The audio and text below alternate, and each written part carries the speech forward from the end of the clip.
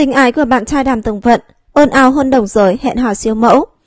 Hẹn hò hai sao nữ nổi tiếng showbiz nhưng đã có lúc Nam Chính quy lộ tỉnh Bách Nhiên, dình tin đồn yêu đương đồng giới với Nam đồng nghiệp.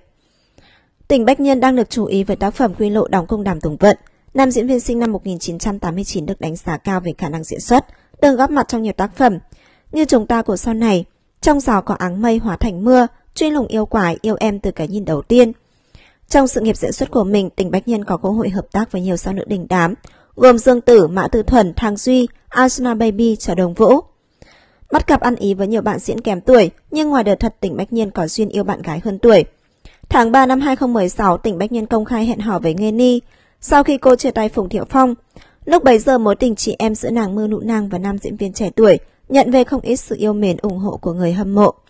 Nghê Ni và tỉnh Bách Nhiên được cho cân xứng cả về ngoại hình và danh tiếng, cả hai cũng không sở chuyện hẹn hò, nên càng nhận được nhiều thiện cảm từ phía công chúng. Tuy nhiên chuyện tình của cặp đôi chỉ kéo dài đến tháng 5 2018 rồi bất ngờ đường ai nấy đi.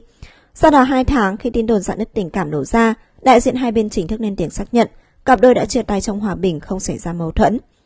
Đến giữa năm 2021, dân mạng xôn xao trước clip cũ, ghi lại cảnh tỉnh Bách Nhiên cố tình lao về phía phỏ tên Bác, giống như đang cố tình hôn môi. Thấy vậy những người xung quanh tỏ ra không hào hứng và đứng dậy bỏ đi chỗ khác. Đáng chú ý tỉnh Bách Nhiên lúc đó đang yêu nghe Ni, còn Phó Tân Bác đã cưới vợ là Dĩnh Nhi. Điều này khiến dân mạng tỏ ra bức xúc cho rằng hai nam diễn viên đang lừa dối hai người phụ nữ. Tỉnh Bách Nhiên và Phó Tân Bác tham gia chương trình Cô Nên Hảo Nam Nhi vào năm 2007.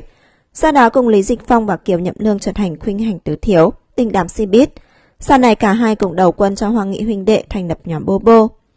Trên mạng xã hội không khỏi để bắt gặp những hình ảnh thân thiết giữa tỉnh Bách Nhiên và Phó Tân Bác hồi đó. Điều này càng khiến nhiều người thêm nghi ngờ về mối quan hệ bất thường giữa hai chàng trai. Trước bàn tán ồn ào từ cư dân mạng, đại diện công ty quản lý đã phải lên tiếng phủ nhận tin đồn. Công ty tuyên bố kiện cả tung tin đồn ác ý và khuyên người hâm mộ nên tỉnh táo, không bị ảnh hưởng ở những tin đồn thật thiệt. Sự việc ồn ào tạm lắng xuống đến tháng 6 năm 2022, tỉnh Bách Nhiên bị bắt gặp hẹn hò với siêu mẫu Lưu Văn. Lưu Văn sinh năm 1988, cô hơn tỉnh Bách Nhiên một tuổi. Cô là người mẫu châu Á đầu tiên trình diễn cho hãng nội y Victoria's Secret năm 2009 và xuất hiện trên trang bìa phấu Mỹ. Dù nhiều lần bị rời săn ảnh và công chúng bắt gặp, nhưng tỉnh bạch Nhiên và Lưu Văn vẫn không công khai hẹn hò. Mãi đến ngày 7 tháng 3, Soho đưa tin, cả đôi tham dự Paris Fashion Week 2023 tự tin bày tỏ tình cảm công khai trước truyền thông. Cảm ơn cả nhà đã lắng nghe video của PVlog. Cả nhà đừng quên nhấn like và đăng ký kênh để nhận được những thông tin mới và hot nhất. Xin chào và hẹn gặp lại.